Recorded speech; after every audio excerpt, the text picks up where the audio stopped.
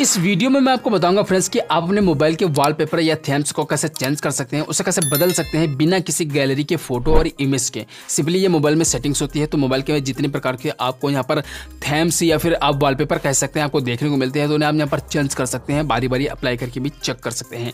इसके लिए देखिए क्या करना है, आपको किसी भी जगह पर, जहाँ पर आपको जगह स्पेस खाली दिख रहा है, उस पर आपको लॉन्ग प्रेस करके रखना है, उस जगह पर आपके सामने इस तरीके से आ जाएगा। तो देख सकते हैं, ये सर्कल देखने को मिला है, इस सर्कल में क्लिक करेंगे तो नहीं होगा, इस सर्कल में क्लिक करेंगे तो नहीं होगा।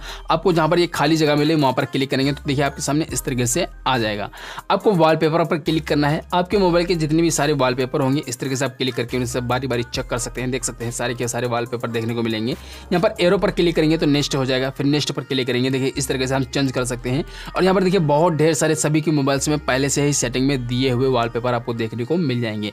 आप उन्हें अप्लाई करके भी इस तरीके से देख सकते हैं, इस तरीके से आप चेंज करते रहेंगे, आपको बहुत सारे वॉलपेपर मिल जाएँगे। अगर चाहते तो मोर वॉलपेपर क्लिक करके अपने मोबाइल का इंटरनेट ऑन करके वहाँ से वॉलपेपर को डाउनलोड भी कर सकते हैं। चलिए, यहाँ पर मैं कोई भी एक एप्लीकेशन में, यहाँ पर मैं कोई भी आपको एक यहाँ पर वॉलपेपर सेट करके दिखा देता हूँ। जैसे कि एग्जांपल के तौर पर यहाँ देखिए बहुत सारे आपको वॉलपेपर मिल जाएँगे। तो चलिए मैं ये वाला सेट करना चाहता हूँ तो इस पर हम क्लिक करेंगे। देर इसके बाद आपको यहाँ पर बैक कर लेना है बस आपका वॉलपेपर सेट हो जाएगा। आपको कुछ करने की ज़रूरत नहीं है। सो इस तरीके से हम बारी बारी या फिर आप जिस भी प्रकार से चाहे अपने वॉलपेपर को चेंज कर सकते हैं उसे बदल सकते हैं। यहाँ पर आपको गैलरी की कोई भी फ़ोटो और इमेज की ज़रूरत नहीं है। अगर आपने चाहे तो गैलरी की फ़ोटो इमेज भी, भी लगा सकते हैं ऐसा कोई बात नहीं है। लेकिन अब यहाँ पर ये बेहतर से बेहतर आपको यहाँ पर वॉलपेपर दिए जाते हैं मोबाइल कंपनी की तरफ़ से खुद ब खुद।